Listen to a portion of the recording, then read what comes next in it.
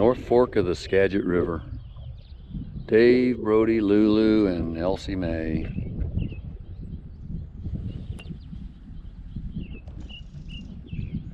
Well, look at that house up there. That's nice. The current is moving really quick. This is going to be pretty tough coming back up. Elsie, you going to help me row back up? Probably not.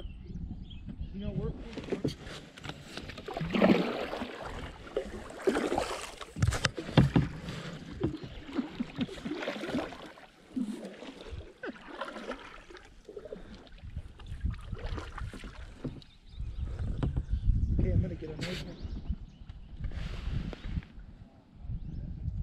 nice one. Elsie, Brody. Hi guys. You having a good day? Huh? Having a good day? Oh. Hey kayak. Alright, kayaking with dogs. This is how Elsie gets into the bow to get out of the sun and sleep, chill out. Brody's too fat to do that. I'm sorry. That was inappropriate. Should I go live for a few minutes?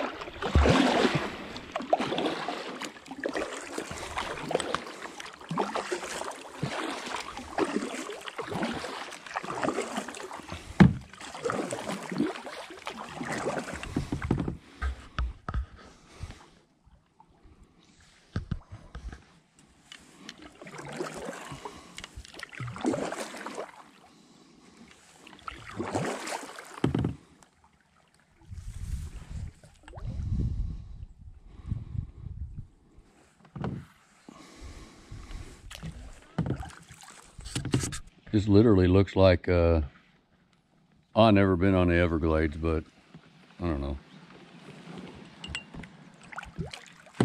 Looks like we should be seeing a manatees or a crocodile or something.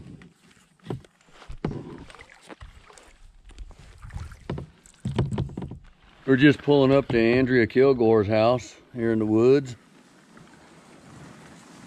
I think she might be out cutting grass somewhere. I don't see her. Doo doot.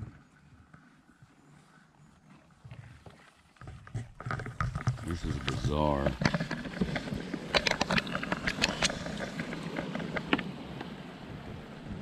Bye, Andrea. We'll check with you later. Brody wants to hop out into the grass, and Elsie's worried about Brody. Yeah, I don't know if you can see it or not, but there's a bald eagle up there. Keeps getting closer and closer. I'm pretty sure he's eyeballing Lulu on Dave's kayak.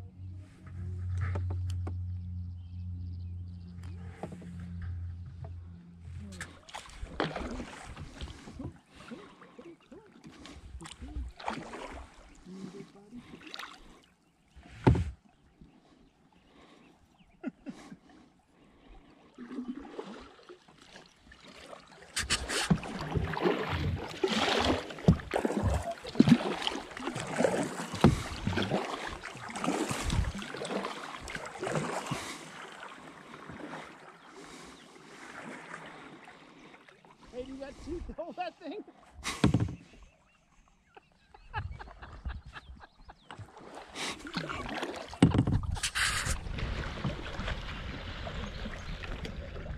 The river there, Yeah. did they, did they come on shore? or They keep going down. Kept going. Okay, then down there. Hey, Elsie. Elsie.